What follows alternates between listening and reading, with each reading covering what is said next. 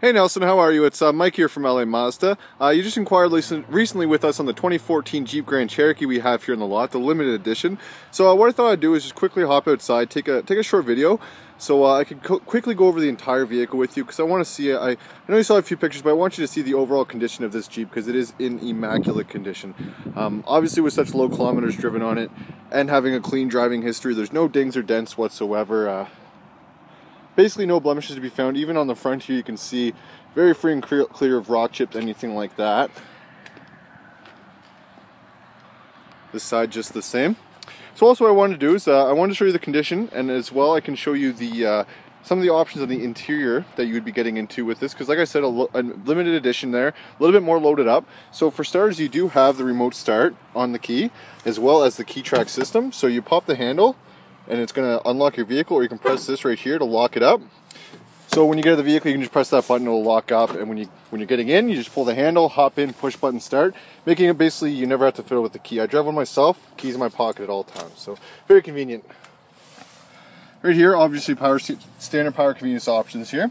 The memory seating, two different options if you, have, if you have multiple drivers. Power seats with the lumbar support. Of course, the leather seats that are heated as well. Can see excellent condition on those. Obviously with uh, being so lightly driven, I mean the seats are in still great shape. So right here on the, you can see you do have the touchscreen display that'll operate things such as your climate controls, uh, the heated seats, uh, your radio, stuff like that.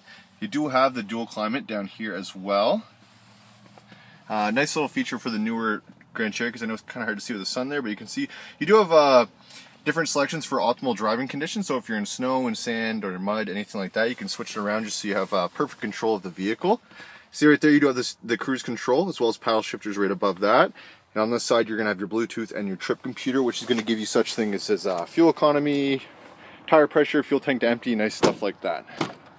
So lots of technology in these, obviously. Very fully loaded with being a limited. You can see here you do have USB port, a full plug-in, heated seats in the back as well and uh, lots of room in here as well. It is a full-size SUV, so uh, you got some larger children or you have to put some full-grown gentlemen back there, not going to be an issue. Lots and lots of space. And of course you do have a backup camera equipped as well. So Nelson, like I said, I did want to get the video off. I know you saw a few pictures, but it's hard to uh, properly judge and properly critique the vehicle without seeing it in kind of in depth.